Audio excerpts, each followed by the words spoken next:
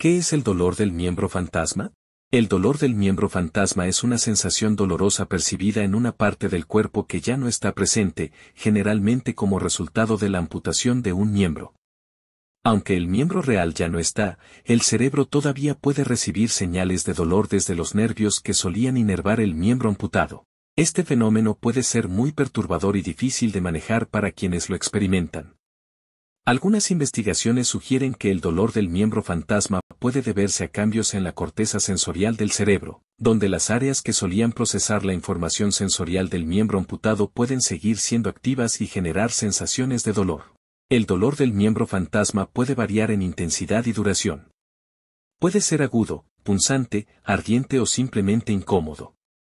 Aunque muchas personas experimentan dolor del miembro fantasma poco después de la amputación, algunas pueden continuar sintiéndolo durante años. Además del aspecto físico del dolor del miembro fantasma, también puede tener un impacto emocional significativo en quienes lo experimentan. Puede provocar ansiedad, depresión, frustración y disminución de la calidad de vida.